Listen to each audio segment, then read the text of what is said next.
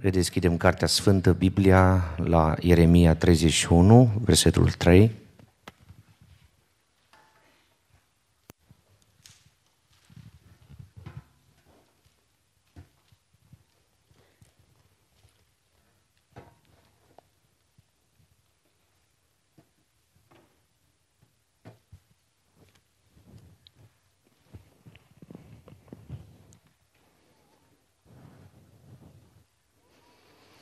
Pagina 769,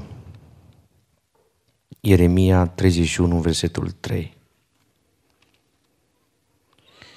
După ce îl citesc odată, toată suflarea de aici, nu contează că sunteți din Zorilor sau din Betania, ori de unde ați fi, din județ, din țară.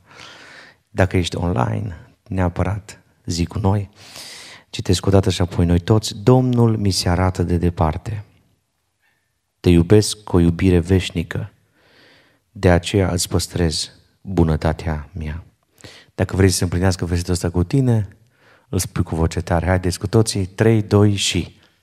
Domnul mi se arată de departe. Te iubesc cu o iubire veșnică, de aceea îți păstrez bunătatea mea. V-ați calificat, puteți lua loc. Ați zis toți. Vedeți, când e vorba de bunătate, cam uh, avem deschidere mai mare, mai ales dacă e vorba că ne iubește Dumnezeu e mai frumos. Slăvit să fie Domnul. Despre bunătate am ajuns la lecția 30. În acest studiu știu ce cred, studiu pe mărturisirea de credință a cultului creștin pedicostal din România, din care facem parte cu toții. Doamne, dacă e cineva care nu face parte, bunătatea în această seară. Vedeți, bunătatea nu e foarte important să fie proclamată, ea trebuie să fie trăită. Dacă vorbești doar despre bunătate și nu ai bunătate în sufletul tău, în inima ta, e un pic problematică situația. Roada Duhului, deja am învățat-o pe dros, dragostea, bucuria, pacea, îndelungă răbdare, bunătatea, facerea de bine, credincioșia, blândețea, înfrânarea poftelor. Am vorbit despre cele care sunt cu roz, am ajuns la bunătate. Acesta e light motivul acestui mesaj. Domnul mi se arată. Și foarte interesant e că nu mi se arată de aproape. Profetul vorbește într-un context în care spațiul ebraic era departe de Dumnezeu.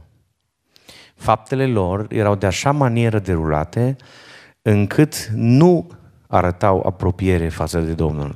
S-au îndepărtat de Domnul. Și în momente ca acelea, când s-au îndepărtat de Domnul, în mod normal, Dumnezeu nici măcar nu mai trebuia să li se reveleze. Dar profetul zice, Domnul mi se arată. Este o mare îndurare. Faptul că încă mai poți să deschizi Biblia și când deschizi Biblia îți vorbește Dumnezeu. Este cea mai mare binecuvântare a vieții tale.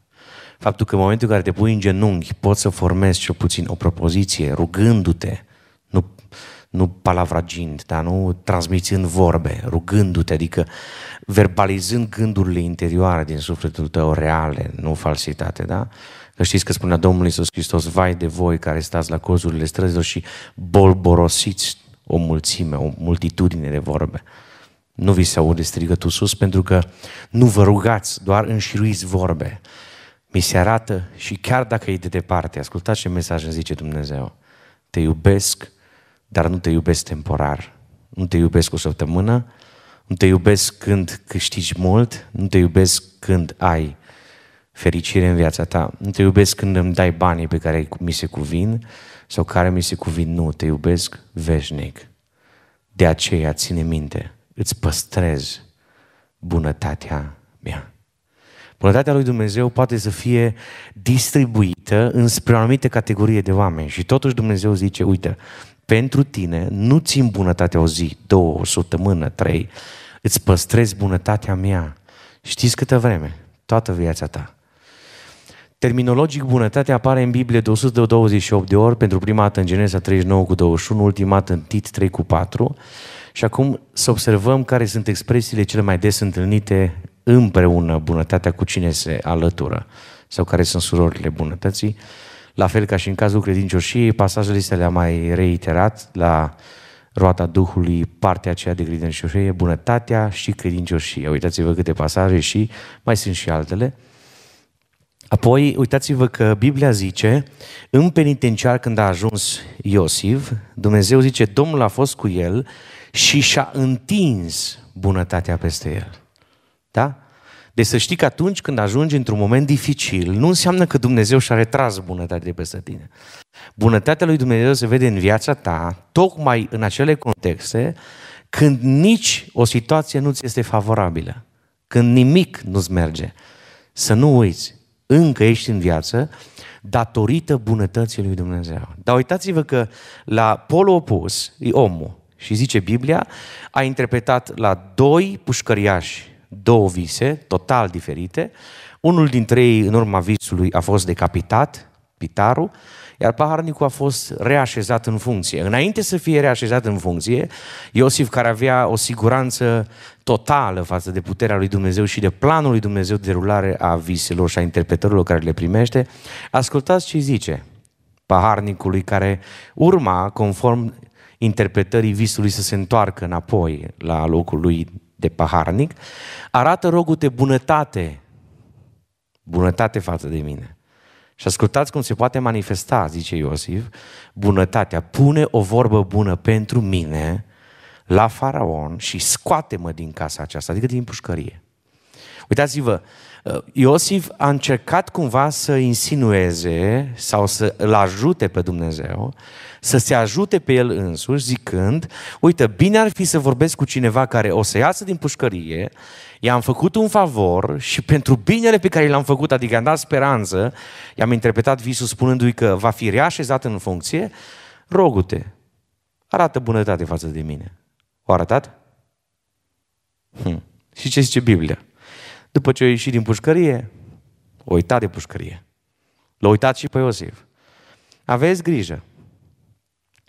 Dacă vrei cu adevărat să fii un om plin de bunătate, o soră plină de bunătatea lui Hristos, ca roada Duhului, nu uita când ajungi să-ți meargă bine, să-i ajuți pe oamenii care te-au încurajat, oamenii care au fost lângă tine când ți-au fost rău. Nu uita de oamenii care te-au ajutat când începe să-ți meargă mult mai bine. Pentru că dacă uiți, nu vei demonstra bunătate, vei demonstra altceva.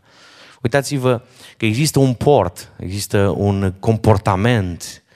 Poartă-te cu bunătate și credincioșie față de mine, să nu mă îngropi, zice Iosif înainte să moară în Egipt. De ce? Pentru că promisiunea ebraică era că ei trebuie să ajungă înapoi pe teritoriul pe care Dumnezeu a așezat pe protopărinții lor, pe patriarhii aceia, Avram, Isaac și Iacov. Și omul acesta, Iosif, înainte să moară, simte că se apropie momentul să plece din lumea temporară a pământului și vorbește cu cei mai proeminenți și zice, poartă-te cu bunătate și credincioșie față de mine. Uitați-vă că bunătatea și credincioșia pot fi manifestate și după ce cineva a plecat să ai un sentiment de bunătate. Nu că te rogi pentru sufletul lui, nu că îi poți schimba destinația sufletului, nu, dar să ai un comportament să împlinești anumite cerințe pe care le-a făcut o persoană care a plecat. Și asta e un fel de bunătate. Uitați-vă că 1 Samuel 20 cu 14 spune, dacă voi mai trăi, să te porți față de mine. Ascultați ce zice Ionatan, cu o bunătate ca a Domnului. Și dacă voi muri, nu mai continuăm să te porți, zic doar atât, cu casa mea, cu o bunătate ca bunătatea lui Dumnezeu. Știți că se derulează, se derulează istoria și regele David, dintr-un cioban de pe câmp alungat, urmărit 20 de ani, ajunge la tron, ajunge să fie instaurat ca rege, ajunge să aibă toate responsabilitățile și toate consecințele sau toate beneficiile care decurg din așezarea pe tron și când este cel mai stabil, când are momentul să fie rău. Când dacă era rău, nimeni nu l-ar fi taxat. Când răutatea putea să iasă prin por din el, din pielea lui, din creierul lui, din degetele lui, cum iese din unii pe care voi știți în jurul vostru. Domnul să ierte și să schimbe. Zice cineva amin? Amin. Se schimbe Domnul pe cei care sunt răutăcioși, da? Când putea să iasă răutatea din el, o răutate de aia crâncenă, periculoasă, ucigătoare chiar. Și nimeni nu l-ar fi tras la rost pentru că și cu el s-au comportat toți faliții lui Saul într-un mod josnic. Știți ce zice Saul, ce zice David când tot este foarte bine așezat în împărăția sa? Zice, mai este cineva din casa lui Saul. Din casa cui? Din casa omului care s-a comportat cu cea mai mare răutate din istorie pentru tine. Omul care a fost cel mai răutăcios cu viața ta. Cum vrei să-i răspunzi? Apropo de mesajul facerea de bine. Cum vrei să răspunzi unui om care e hidos pe interior și pe exterior, care a fost jo- josnic și care efectiv a vrut să te omoare de mai multe ori? Vreau să mă port cu el, zice David, cu o bunătate ca bunătatea lui Dumnezeu. Când se termină bunătatea lui Dumnezeu, zice David, o să se termine și bunătatea mea. Față de cine? Față de casa lui Saul. De ce? I-am făcut o promisiune lui Ionatan și mi-a zis să te porți față de mine cu o bunătate ca a Domnului. Și ascultați ce spune versetul 15, să nu-ți îndepărtezi niciodată bunătatea față de casa mea. Nici chiar când Domnul meu va nimici pe fiecare din vrăjmașii lui David de pe fața pământului.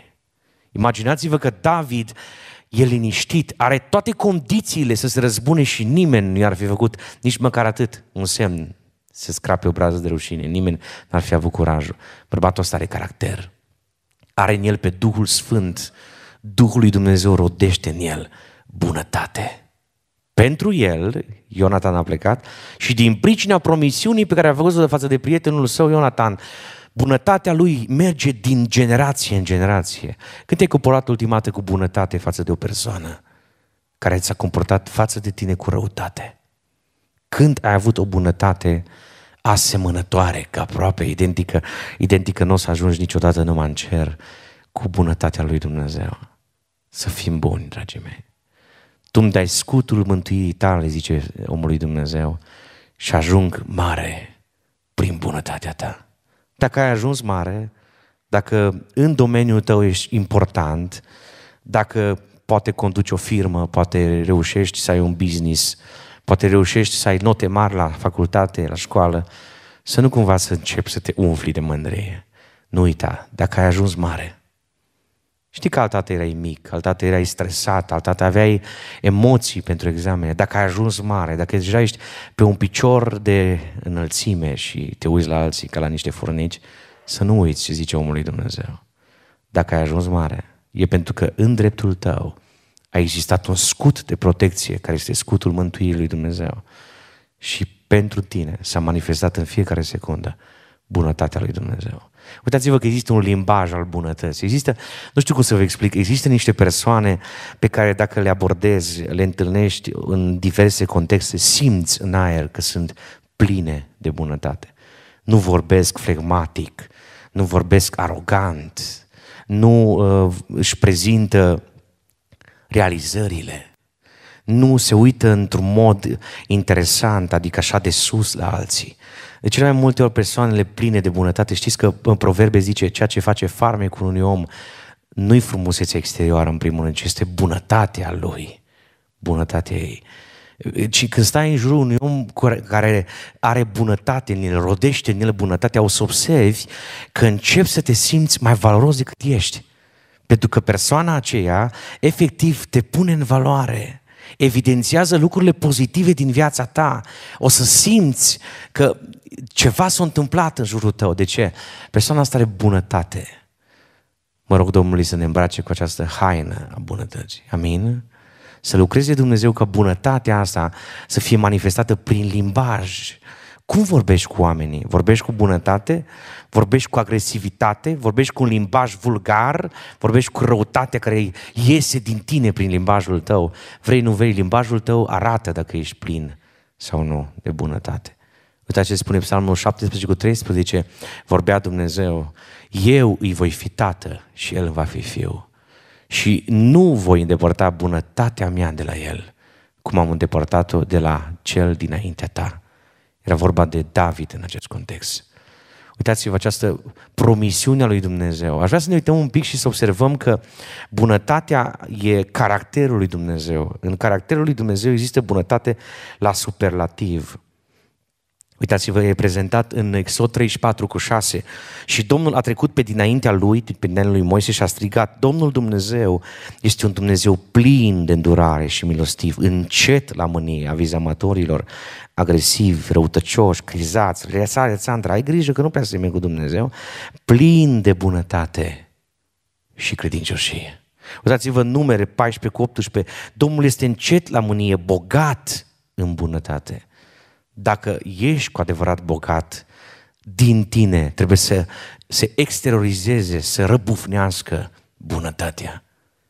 Iartă fără de legea și răzvrătirea, dar nu ține pe cele vinovat drept nevinovat și pedepsește fără de legea părinților un copii până la al treilea și al patrulea neam. Veți spune cum se întâmplă asta în contemporanitate? Da, pentru că dacă tu nu treci răutatea de la părinții tăi, există o schemă a răutății din familie părinții au avut conflicte cu alte persoane, da?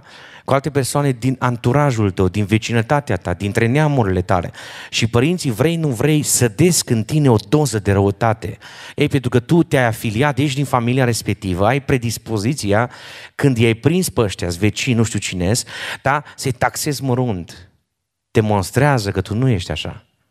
Nu muta generațional răutatea din tată în fiu, din mamă în fică, din tată în fică. Nu muta răutatea de la taică care a fost într-un moment nevegheator, au avut un conflict, o ceartă, o discuție. Nu mai discută cu unul dintre vecini. Tu ca băiat al tatălui tău, tu ca fica mamei tale, fi altfel. Ei nu se salută între ei, tu salută. Asta înseamnă bunătate. Înseamnă că nu muți generațional răutatea de la tata la tine de la bunicul la tine ca nepot. Există așa o predispoziție că țin cu tata dacă îți rău. Nu fi rău când e rău taică tu. Tu fii bun. Fii corect, fii onest. Tu nu trăiești în pielea nimănui pe planeta asta, nici măcar în pielea părinților tăi, tu ești în pielea ta, ești propria ta ființă, fii plin de bunătate. Nu duce generațional răul, pentru că răul, spuneam data trecută, de la cel rău vine când îl înmulțești, afectează planeta în mai multe dimensiuni. Nu te arăta de față cu taică cu maică, dacă știi că ei au o situație așa mai dificilă cu persoanele acelea. Nu te arăta că tu vorbești, că tu ești foarte deschis, că tu ești, da? Fii într-un moment în care nu creează conflicte, fii altfel. Nu muta răutatea din generația părinților tăi la tine. Du-o într-o direcție diferită starea asta și fă din ea bunătate. Ascultați ce spune Psalmul 26 cu 3, că bunătatea ta este înaintea ochilor mei, este bunătatea lui Dumnezeu în fața ochilor tăi. Te interesează în ce dimensiuni e Dumnezeu bun cu oamenii, ești și tu bun cu oamenii exact așa cum e Dumnezeu. Psalmul 27 cu 13 spune, o, oh, dacă n-aș fi încredințat că voi vedea bunătatea Domnului pe pământul celor vie. Este un moment de criză în viața lui David. Este un moment în care este urmărit, zice, ă, ă, o mulțime de ar fi împotriva mea. Dacă s-ar organiza un război și singurul conflict ar fi între mine și ei, dușmanii mei, chiar dacă o știre ar tăbărâ împotriva mea, inima mea tot nu s-ar teme. De ce? Eu sunt cu Dumnezeu. Și zice la final, am speranță că o să văd cu proprii mei ochi pe pământul celor vii bunătatea Domnului. Într-o lume plină de răutate, într-o lume în care armatele se pregătesc să mă moare pe mine, David zice, am o încredințare, voi vedea bunătatea Domnului. Psalmul 33 cu 5, el adică Dumnezeu iubește dreptatea și neprigănirea, bunătatea Domnului umple pământul. Tot ce înseamnă pe terra vizibil, înregistrabil, tot ce se întâmplă pe mapamont bun, e din bunătatea lui Dumnezeu. Nu există ceva favorabil pe planeta asta care să se deruleze și să nu vină din bunătatea lui Dumnezeu. Uite-te la simplu fapt că soarele nu-și depășește orbita, nu-și schimbă traiectoria, un milimetru și mult mai puțin, dacă ar merge mai spre dreapta, unii ar îngheța de frig, alții s-ar topi de căldură. Nu-și schimbă traiectoria, asta e bunătatea lui Dumnezeu. Te trezești de dimineață și ai pâine pe masă. În familia ta ai condițiile necesare la școală, la facultate, acolo unde mergi, în locul de muncă. Există un parcurs supranatural. Dumnezeu vine cu tine pe unde umbli. Asta e bunătatea lui Dumnezeu. Umple pământul. Știi ce mă fascinează? Mă tot gândesc cât de bun e Dumnezeu, cât de bun poate fi Dumnezeu față de oamenii răi. Vedeți, bunătatea lui Dumnezeu se arată prin ploaie, prin maniera în care există circuitul apei în natură, maniera în care există sămânța așezată în pământ, apoi rodește. Și și bagabonții, și proxeneții, și oamenii răi din, din, din cele mai grozave și groaznice dimensiuni, totuși primesc hrană de la Dumnezeu. Bunătatea lui Dumnezeu, spune cartea Roman 2 cu 4, nu vezi tu omule, nu trebuie să fii penticostal, nu trebuie să fii creștin, trebuie să fii om. Nu vezi tu, cu bun, nu vezi tu omule că bunătatea lui Dumnezeu te îndeamnă la pocăință când realizezi cât de bun e Dumnezeu cu rasa umană. Noi toți am meritat să fim eradicați de pătera.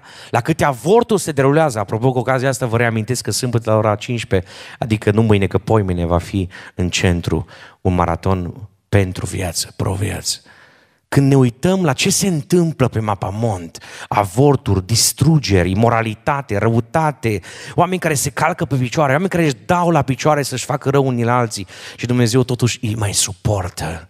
Și nu doar că îi suportă, îi hrănește. Le dă ploaie, soare, căldură, condiții. Mare este bunătatea lui Dumnezeu. Nemărginită, spune în alt psalm. Arată-ți bunătatea ta cea minunată. Minunată este bunătatea lui Dumnezeu. Căci împăratul se încrede în Domnul și bunătatea celui prea înalt îl face să nu se clatine. Ai rămas în picioare, ascultă-mă. Ești la biserică în seara asta. Puteai să fii în altă parte. Puteai să ai un ștreang în gât. Săptămâna asta m-am întâlnit cu mai multe persoane care au avut gânduri suicidale. O persoană m-am înfiorat pentru că n-avea o vârstă mică și a avut astfel de gânduri. Dumnezeu a făcut să vorbesc săptămâna asta cu această persoană și Dumnezeu a eliberat-o. Slăvit să fie Domnul. Slăvit să fie Domnul. Bunătatea Domnului îți dă viață. Dacă nu te clatini, dacă mai ai mintea întreagă, dacă încă ești pe picioarele tale, dacă încă mai poți să derulezi activitățile pe care le ai la job, la facultate, să știi că e pentru că Dumnezeu Dumnezeul cel prea înalt și a păstrat bunătatea în dreptul tău. Psalmul 25 cu 6 zice, adu-ți aminte, Doamne, de îndurarea și bunătatea ta.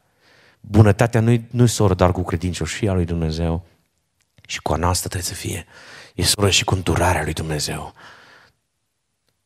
Psalmul 40 cu 11 zice, Tu, Doamne, nu vei opri îndurările tale, ci bunătatea și credincioșia ta mă vor păzi totdeauna.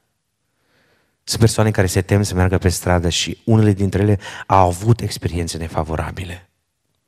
Vreau să le spun ceva. Încrede-te în bunătatea și credincioșia lui Dumnezeu, care sunt cea mai înaltă protecție. Nu există securitate pe planeta Terra inventată prin senzor, prin uh, camere video, prin ultraviolete, prin ce vreți voi. Nu există sisteme de identificare a dușmanilor așa cum le are Dumnezeu prin securitatea Lui. Bunătatea și credincioșia Lui Dumnezeu te păzesc. Roagă-te în fiecare zi și zi, Doamne, continuă să-ți revești peste mine bunătatea Ta. Protejează-mă prin credincioșia Ta. Mă încred în promisiunile Tale care mi-au promis că mă vor ține întreg și voi fi sănătos în numele Tău. Scoală-te, striga psalmistul, ca să ne ajuți. Izbăvește-ne. De ce? Pentru că noi suntem buni, pentru că am făcut rugăciuni suficiente, pentru că venim la biserică, pentru că citim din Biblie, pentru că postim o dată peste Nu, pentru bunătatea ta. Argumentul pentru care Dumnezeu te poate ajuta.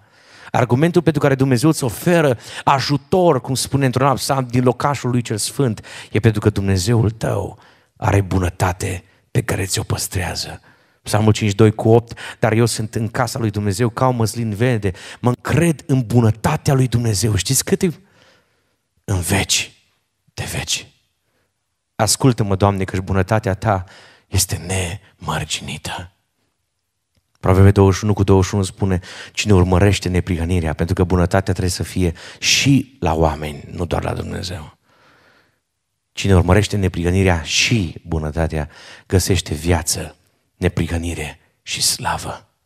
Vrei cu adevărat să ai viață? O viață echilibrată, o viață binecuvântată, vedeți, viața e legată de neprihănire. Neprihănirea pe care o trăiesc eu îmi generează în viața mea și în jurul meu un exemplu de neprihănire. Și când ajung dincolo de linia de sosire în rai, o să primești și slava lui Dumnezeu. Dar vrei cu adevărat să primești viață? Fii plin de bunătate că roada luminii, Efeseni 5 cu 9, stă în orice bunătate, adică în orice domeniu, nu doar în domeniul eclesial, nu doar în domeniul acesta laic sau bisericesc, nu, în orice domeniu, indiferent pe fața unui pocăit, pe comportamentul unui pocăit trebuie să se scrie bunătate. Prea mulți botezați la Pentecostal sunt arici, sunt rătăcioși, resping vorbesc într-un mod periculos, văd că unuia îi merge bine, din toată se enervează, domnule.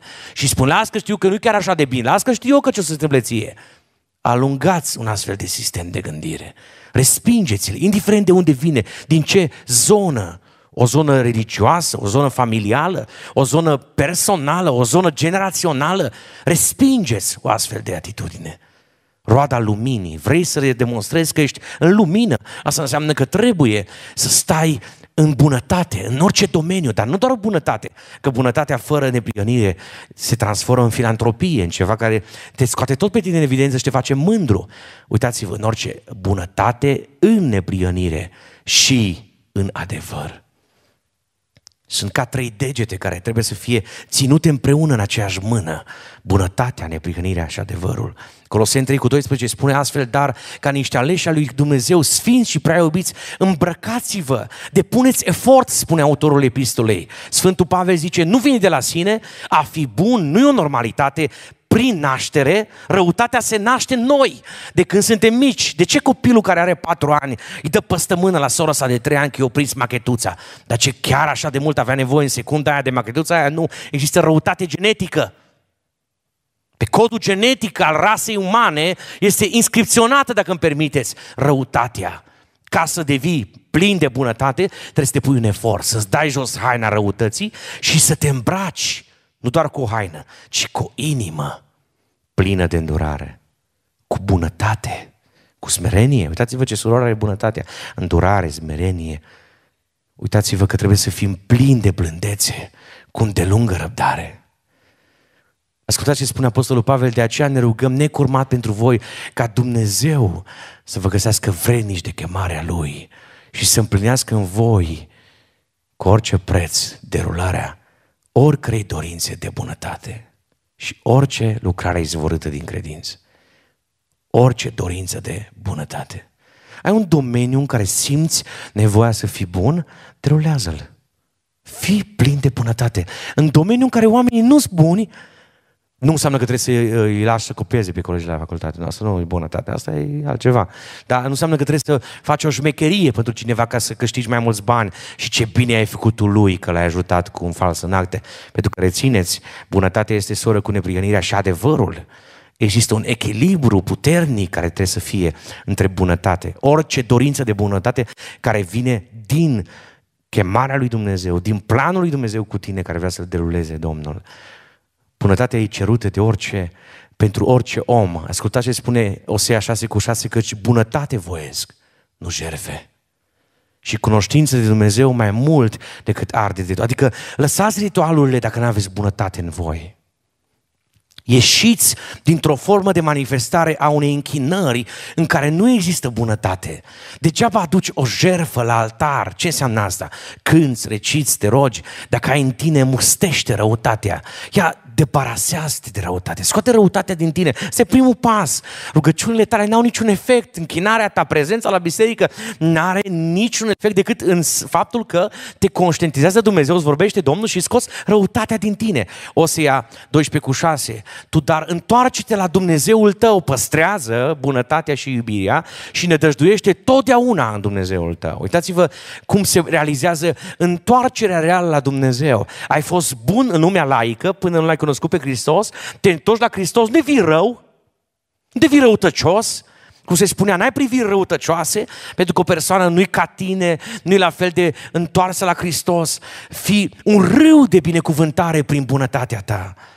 Transformă răutatea din oameni în bunătate. Fii un om plin de pace, plin de entuziasm sfânt, de credință, de curaj. Mergi prin credință înainte, nădăjduiește întotdeauna în Dumnezeul tău. Nu poți să înțelegi pe pocăiții care n-au speranță.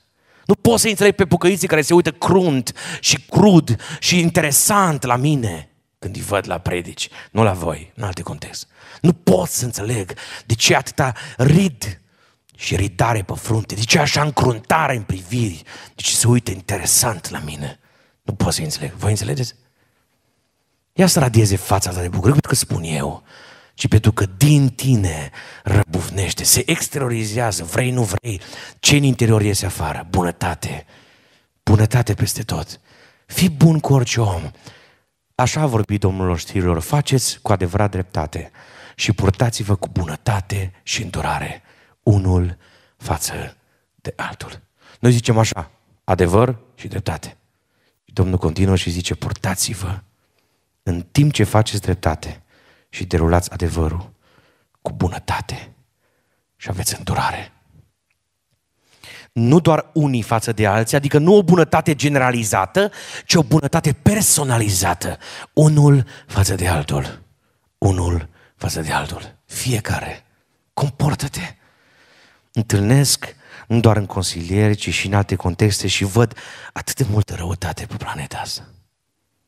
În Cluj-Napoca văd atât de multă răutate. De la simplu fapt că dacă n-ai apucat să accelerezi în secunda doi când vrea el, că s-a făcut verde, pac, ți-o, trân- ți-o trântit un clanson. S-a enervat. Dar ține lung 15 secunde să nu uiți cumva că tu ai fost. Nu cumva îți răi oamenii ăștia. Răutate în toate dimensiunile. Răutate la școală, nu unde predau eu, nu la asta mă refer. Mă refer în, în situațiile astea în care se derulează răutatea. Oameni răutăcioși, oameni care plesnesc, oameni care lovesc în jur, oameni care vor să facă ei dreptate, dar nu mai au bunătate. De o vreme Duhul Domnului îmi vorbește și îmi spune așa, vezi o situație grea în viața unui om, privește prin ochii mei ai Duhului și vezi prin Duhul de ce a ajuns în starea asta persoana asta. De ce în momentul ăsta așa? Ce i s-a întâmplat în viață? Prin ce evenimente s-a făcut o nedreptate? Ce dezamăgire a simțit în viața lui, în viața ei? Prin ce a trecut? De ce a ajuns să rănească? Știți că se scriu foarte multe comentarii interesante despre mine și eu nu răspund la niciunul prin Harul lui Dumnezeu. Și prima dată când citesc un comentariu, să nu aveți iluzia că eu nu știu ce să scrie. Deci, să ne înțelegem, da? Eu știu, aflu înainte la celor mai mulți dintre voi, dar nu despre asta e vorba acum. În momentul în care citesc un comentariu și un comentariu mincinos, calumniator și cu dorință de răutate, prima senzație este, oare persoana asta își folosește mintea? Asta e prima mea întrebare. Asta e întrebarea umană, umanității din mine.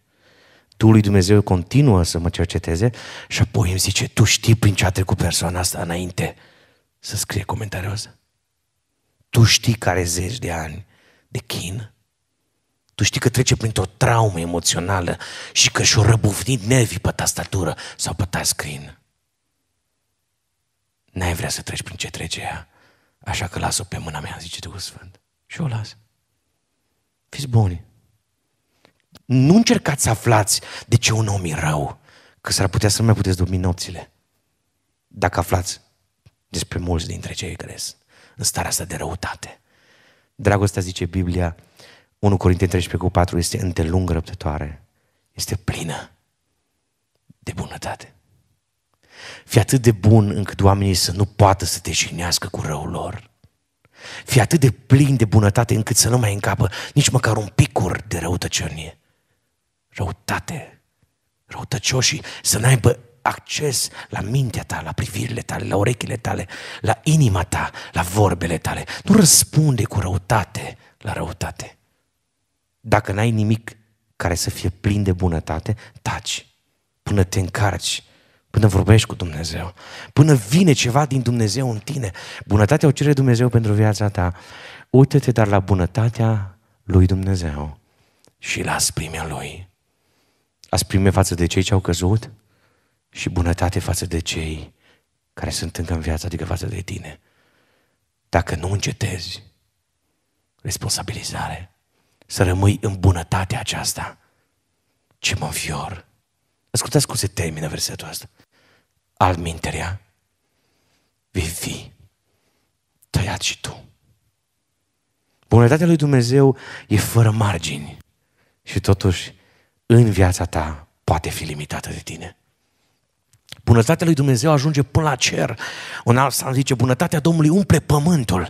Oriunde te uiți, în orice punct cardinal, în orice spațiu, pe orice coordonate GPS, o să vezi, dacă ai ochi buni, dacă ai ochii lui Dumnezeu, o să vezi bunătatea lui Dumnezeu. Dar ai grijă, ești singura persoană care poți limita bunătatea lui Dumnezeu și în viața ta personală să o transformi în asprimea lui Dumnezeu. Cei ce au căzut transformă bunătatea lui Dumnezeu în asprime. Și noi, care încă avem bunătatea lui Dumnezeu arătată față de noi, dacă nu ne oprim din bunătatea aceasta, dacă nu rămânem în bunătatea aceasta, ni se întâmplă la fel. Eu, Pavel, vă rog, prin blândețea și bunătatea lui, Hristos. Nu prin tine, nu prin faptele tale, prin bunătatea lui Hristos. Aș vrea să stați cu toții ridicați. E un moment în care trebuie să ne cercetăm fiecare dintre noi și în fața Evangheliei să ne zmerim adânc să ne așezăm ființele în fața Domnului, să zicem, Doamne, avem nevoie de Tine. Nu cred că există cineva aici care să spună, eu sunt suficient de bun, am atât de multă bunătate încât nu mai încape nimic în mine. În timp ce stai cu ochii închiși, analizează-te în cele mai adânci dimensiuni ale vieții tale, unde a existat răutate, un picur de răutate, o răutate cât un vârf de ac, o răutate minusculă pe care n-ai văzut-o nici măcar cu microscopul și Duhul lui Dumnezeu ți-a evidențiat-o seara asta. Nu știu în ce domeniu ai avut răutate, scoate-o afară prin credință în numele Lui Isus. Domnul ți se arată de departe și încet, încet se apropie spre tine și zice cu o inimă plină de iubire, te iubesc cu o iubire veșnică. De aceea îți păstrez purătatea mea. De aceea ai viață, ai suflare, ai mișcare, ai sentimente, ai emoții, ai toate lucrurile necesare pe care ți le-a dat Dumnezeu. Haideți să ne rugăm și să cerem prezența lui Dumnezeu, puterea lui Dumnezeu. Să cerem Domnului să ne dea putere să fim cu adevărat buni unii cu alții și bunătatea Domnului să ne atingă pe fiecare dintre noi. Când încetăm din această rugăciune, îi și mulțumim Domnului pentru seara să ne rugăm.